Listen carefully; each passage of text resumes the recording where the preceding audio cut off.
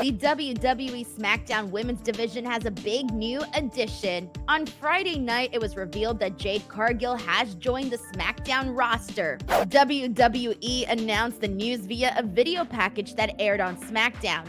Jade will make her first appearance as a SmackDown roster member next week on the March 29th edition. Jade departed AEW after having her final match for the promotion September 2023. It was confirmed later that month that Jade had signed a multi-year contract with the company. I felt like I would have never got a better start other than AEW, and that's me being very honest. I think the veterans in the locker room prepared me for the grander stage at WWE. I got a great experience there, being thrown in the water and being able to swim and survive. It's prepared me for the big stage that WWE has, and the locker room, the phenomenal staff that WWE has. I mean, they have a front office like no other. I'm just ecstatic to be here. Jade made her WWE in ring debut at the Royal Rumble this January, but had been without a brand until now. Jade made it to the final three of the Women's Royal Rumble match before being eliminated. I mean, I was just ecstatic. The locker room showed me nothing but love. I was a little nervous, but once I heard the sound of the WWE Universe, I felt like I was undeniable. It was amazing when you went out there and you had that moment with Nia Jax and you eliminated Nia Jax. And when you lifted her up, you did something. Not only did you lift her up, but you also posed. Yeah. Talk to us about that. Well, of course, I always pose. We know I always pose. I think Nia Jax is one of the strongest women in the locker room, you know? So for me to go out there and just dominate her and eliminate her, I felt like I was doing something big for the women's division. Certainly were. And what about that face-off that you had with Bianca Belair? I know, I know. We're going to see what happens. I think I would rather work with the great Bianca Belair. I think she's phenomenal. I think she is a great representation for the African American community. And I just, we're going to make magic. Whether we work against or together, we're going to make magic. Naomi, Tiffany Stratton, and Bron Breakker have also joined the SmackDown roster over the last several weeks.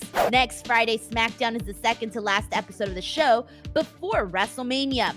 The lineup includes Bianca Belair versus Dakota Kai, Randy Orton and Kevin Owens versus Pretty Deadly, a WrestleMania qualifying tournament bracket one finals with Legado del Fantasma versus the New Catch Republic, and the bracket two finals Austin Theory and Grayson Waller versus the Street Profits, and of course, Jade's first appearance as an official SmackDown roster member.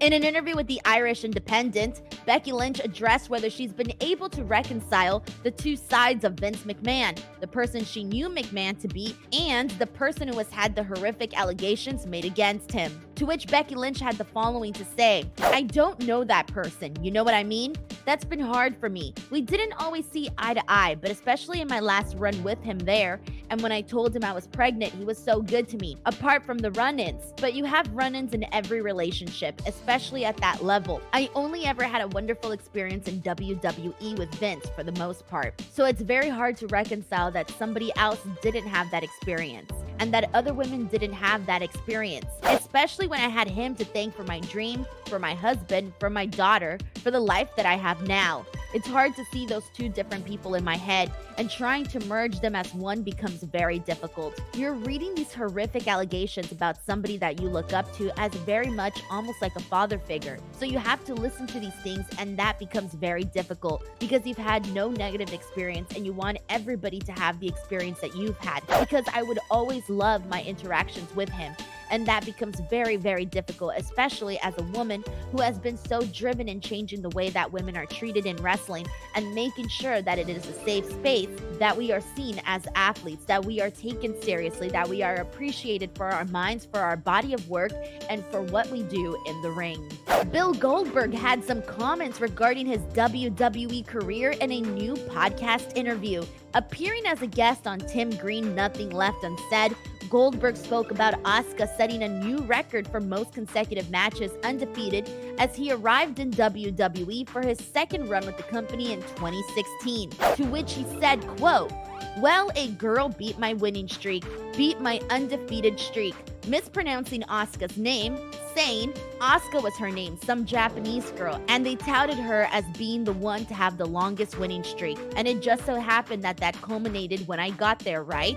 While Goldberg returned to WWE in 2016, Asuka debuted in NXT in 2015, and her undefeated streak in the company continued into her time on the main roster before losing to Charlotte Flair at WrestleMania 34 in 2018. When Asuka won her 174th consecutive match to begin her WWE career, surpassing Goldberg's 173 0 WCW run, which also ignores that he lost his third career WCW match in 1997, Goldberg posted this congratulatory tweet. Goldberg also spoke about a proliferation of wrestlers using the spear, saying, and then it just so happened that every single wrestler who uses the spear in their moves, right?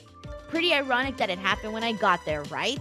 When asked what may have caused friction between Goldberg and WWE, Goldberg cited his frosty relationship with now CCO of WWE, Paul Triple H Levesque, saying, the fact that I didn't get along with Paul Levesque, which is Vince's son in law, I think had everything to do with it when I got there. And speaking about his feud with Triple H during his first WWE run in 2003 2004, Goldberg said, I think a lot of that between Hunter and myself was real. Jack Perry both disputes the claim that he continually apologized or asked for forgiveness in the months following his backstage fight with CM Punk at last August AEW All In, or that there are any current plans for an AEW return. According to Jack Perry, he didn't hear from AEW head Tony Khan for two months following All In at London's Wembley Stadium. Jack said he never texted to say he was sorry and told Tony's lawyers he would not initiate first contact. Tony finally set up an in person meeting before Full Gear in Los Angeles